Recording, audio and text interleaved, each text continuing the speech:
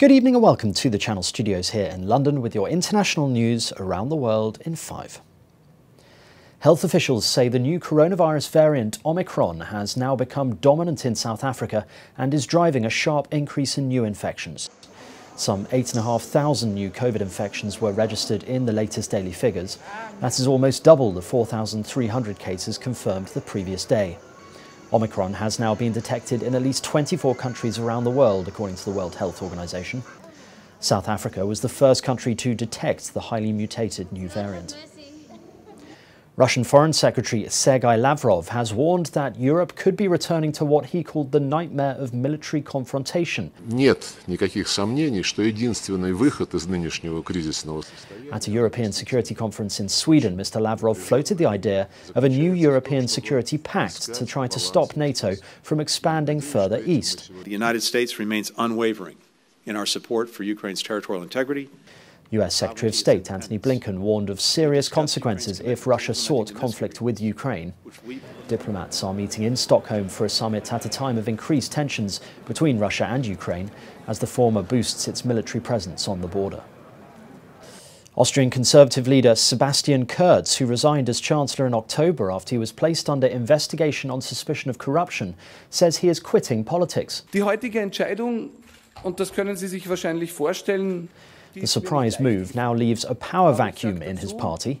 Kurz has been the dominant figure of his People's Party and Austrian political life since 2017 when he became party leader and then chancellor. He told a news conference he was leaving politics altogether. Germany has announced a new nationwide lockdown for anyone who isn't vaccinated. Angela Merkel and Olaf Scholz, who will replace her as Chancellor next week, met with regional leaders to agree on the measures on Thursday morning. Under a draft of the new measures leaked to the German press, the unvaccinated will be barred from restaurants, pubs, cinemas, gyms, cultural events, and non essential shops. They will also be subject to strict contact restrictions, allowing a maximum of two households to meet.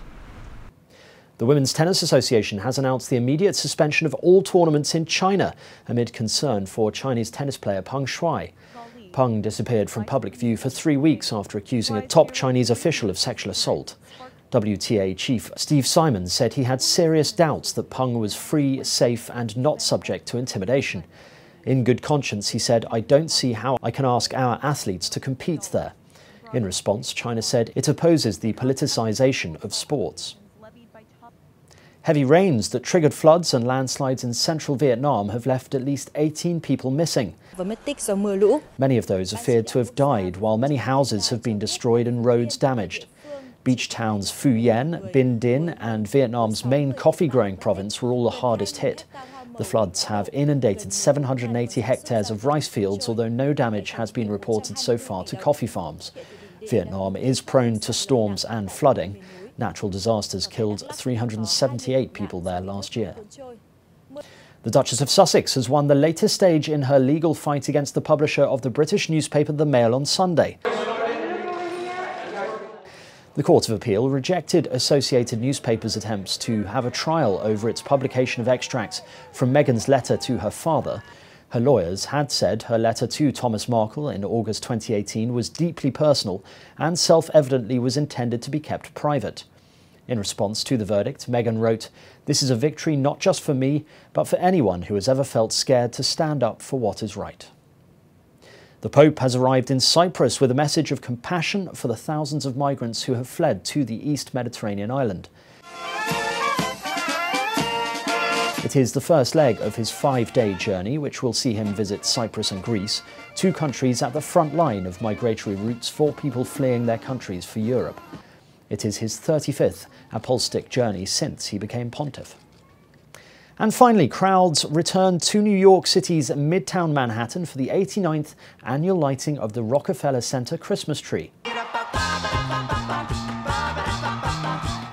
Officially kicking off the holiday season, the two hour ceremony contained a series of star studded performances. The night's highlights came when more than 50,000 multicoloured LED lights were switched on, bringing the Rockefeller Center Christmas tree to life. And that's your international news around the world in five. Now back to Channel Studios in Lagos.